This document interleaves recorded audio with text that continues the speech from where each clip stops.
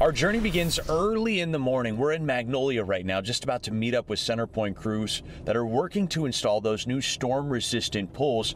Those guys and gals, they get an early start, leaving their office 6:30 in the morning.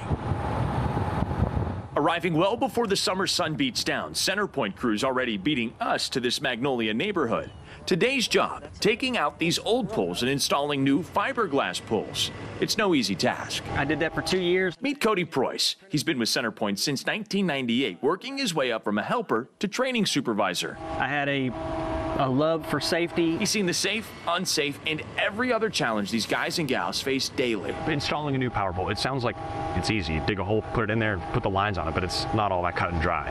Well, no, it's not. What they don't see is bad animals, yards, bad yards, trees, and vegetation that's in the way. On top of that, it's hot, like really hot. It can get miserable, yes. Cody, like many of these blue collar workers, lost power both during Beryl and the derecho leaving their families and homes to come turn power back on at yours. All right, this pole's in the ground, and they still have some work to do to get the lines back on, but power in this Magnolia neighborhood will be turned back on pretty soon. So now we're going to go back to Houston and take a look at how they're trimming up some of these trees.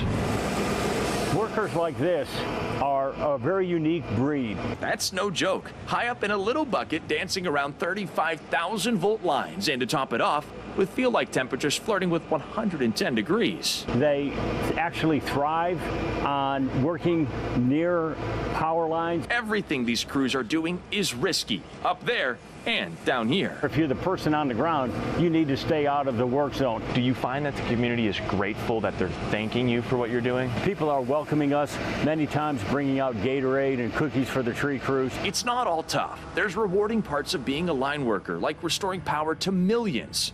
But before you get there, you have to conquer what could be the toughest obstacle of all. I'm not gonna lie, it's terrifying up here.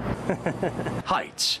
Powering up and down pools is part of the job, and for some, it's a deal breaker. Yes, it is a mental thing. Do you ever get scared when the bucket starts shaking around when you stop? I'll be honest with you, I didn't like this when I first started.